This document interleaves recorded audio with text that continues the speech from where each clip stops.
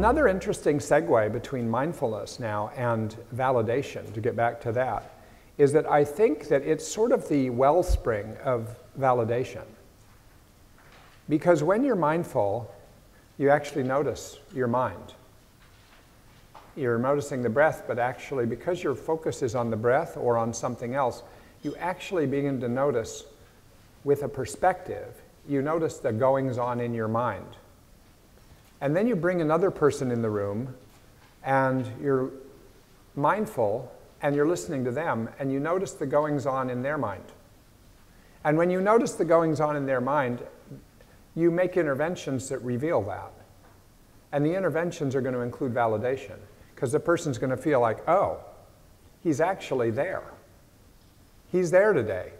He's home. He's listening to me. He heard what I said. He even linked it with something I talked about last time. Hmm, he seems to be entirely there for me today. And that changes everything. So even before you almost even say anything, before you do level one through six or any other level of validation, you're already in a validating stance because you're actually there. You're listening, and it seems to give rise to compassion almost naturally. Not always. It could give rise to, you know, fury because of something that's happening, but it's fury with awareness. Know, I'm really furious. Then you notice that. Yeah, no wonder I'm furious. Then you validate yourself.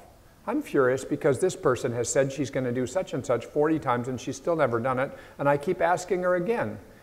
Huh, this isn't working very well. So even if you're asking for change, even if you're recognizing frustration, it's in a larger, more spacious context that I can't get across in any other way than to try to explain it this way. And I'm sure it hits some of you probably already know this, some of you maybe it makes sense to you, and some of you might not.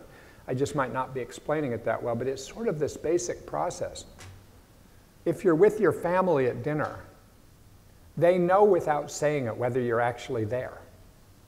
If you're taking a ride with your family on a vacation or just a trip up the beach or something, your family knows whether you're there or whether you're thinking about other stuff. They just know it, and it changes everything. And if you're there, they're more likely to be there. Or they're more likely, or it's going to become more obvious they're not. So I just want to encourage you to see there's, it's an absolute indelible link between just being mindful of yourself and then being mindful of another human in your presence. That's already validating in a deep way. So, and then what comes out of your mouth is more likely to reflect that. And, it's, and you don't have to think, gee, should I do level four? No, it just comes out.